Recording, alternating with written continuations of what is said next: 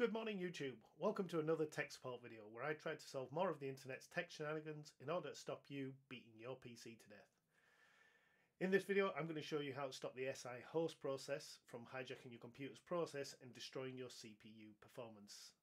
Just a quick note to those new to the channel, when I'm not shamelessly stealing tech support questions from Reddit and making videos about them, I do offer free tech support for anyone who might need it. So if this video doesn't solve this issue for you or you have any other tech support issue, then feel free to drop a comment below and I might choose you for a free tech support session in the future. Right, let's get to it.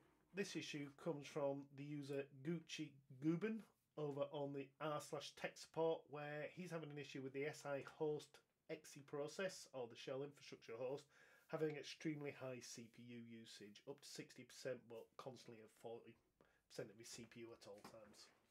Thankfully he's provided a lovely screenshot so we can actually see what's going on. You can see there the SI host process using 43.3%.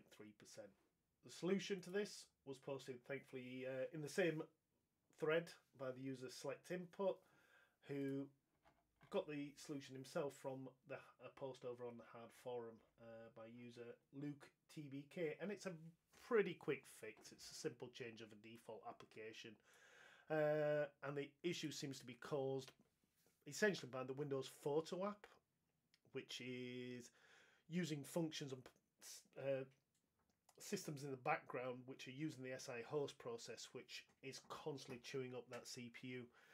Uh, and all we're going to do is tell Windows to use a different app to view your cat memes and family photos, and that should solve it for you. So all you're going to need to do is down in the bottom left corner of your screen, click on the Windows logo or the Start button, whichever you want to call it, and just straight away start typing the word default and you should get this option come up saying default apps. So you're going to click that.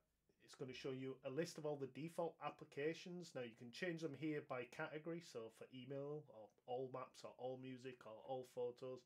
Or if you want to change it individually by file type, you can click this link at the bottom.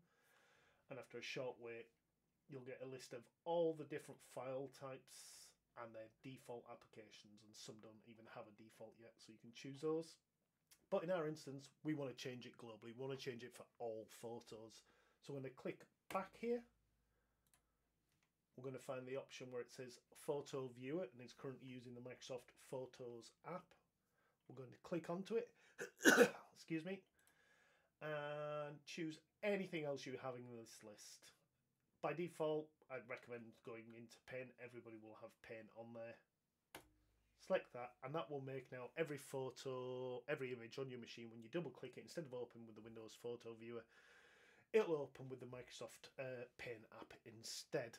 All you're going to need to do is close that give your machine a quick restart. It's always better to do that. It might not be necessary but it's always better to do it and make sure the uh, setting takes effect and then see how your performance is going on. You can check your performance by the way by right clicking on the windows logo choosing task manager and you can see your computer's performance here and it should be you know fairly low to next to nothing unless you're running a load of apps in the background and you can get a view on what is using the most processor by going into the processes tab and if you click on the CPU um, column here it'll sort it by the most usage and you should hopefully see that SI host has disappeared for you. As I say, if that helps, please leave a comment, like and subscribe below.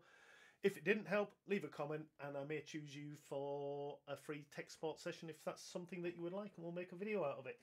Most importantly, make sure you continue having a great day. Take care.